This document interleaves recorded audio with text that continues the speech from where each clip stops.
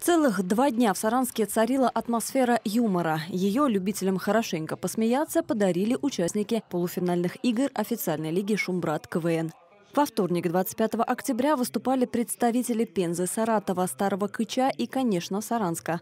В результате победил Саратов. У нашей команды третье место. Спустя сутки веселые и находчивые вновь встретились на сцене ДКИ. Мы последние воспитанники мордовского КВН, которые в составе другой области а, попали на Первый канал за один год. Поэтому я считаю, что а, за один год все возможно. Я считаю, что наши мордовские команды, мы сюда приехали на родину, мы их воспитываем, проводим школу КВН. И в целом а, после долгого перерыва КВН у нас вернулся, ожил. Сегодня будет просто простой юмор об участниках команды КВН, которые будут выходить, об э, том месте, откуда они приехали, о том городе, о нашем прекрасном городе Саранск. Шутки будут, конечно же, про Рузаевку. В зале ДКЭ было действительно жарко. Еще бы, ведь за место в финале боролись такие команды, как Элис и амбассадоры Тиндера из Саранска, пензенские чемпионы мира по КВН и сборная китовки из Инзы. Пацаны, а мы долго будем делать вид, что ничего не происходит? Виталь, что это? Да все нормально, я просто батю своего ищу.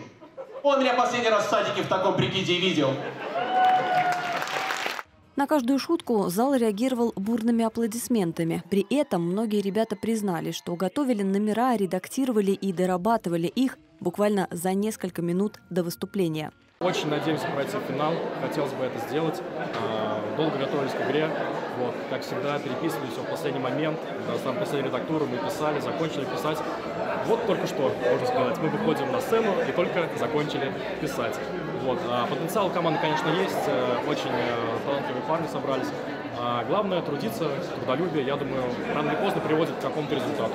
Структура выступления традиционная и любимая поклонниками КВН. Сначала приветствие, затем импровизация, ситуация и музыкальный фристайл. В конечном итоге жюри определило победителей.